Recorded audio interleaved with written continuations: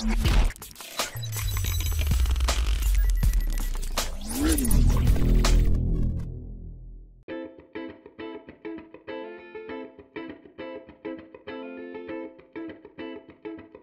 to everyone.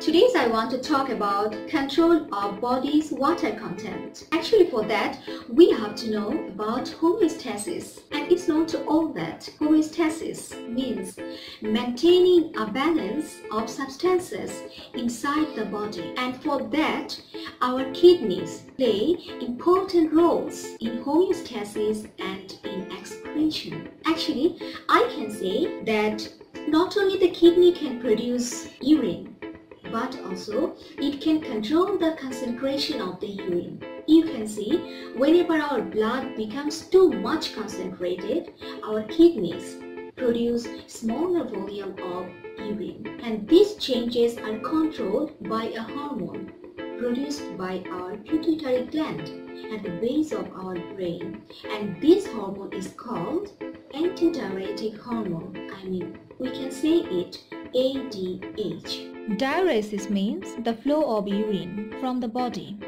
So, antidiuresis means producing less urine. ADH starts to work when our body loses too much water.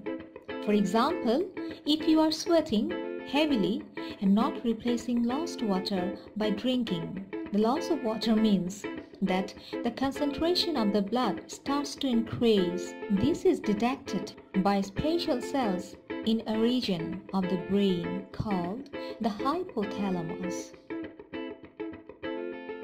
These cells are sensitive to the solute concentration of the blood and cause the pituitary gland to release more ADH. The ADH travels in the bloodstream to the kidney. At the kidney tubules, it causes the collecting ducts to become more permeable to water so that more water is reabsorbed back into the blood.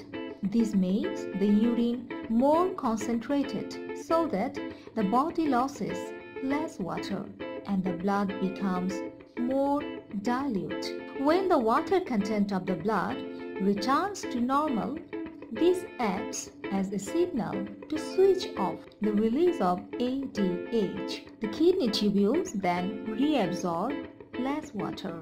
Similarly, if someone drinks a large volume of water, the blood will become too dilute. This leads to lower levels of ADH secretion. The kidney tubules become less permeable to water and more water passes out of the body in the urine. So, in this way, through the action of ADH, the level of water in the internal environment kept constant.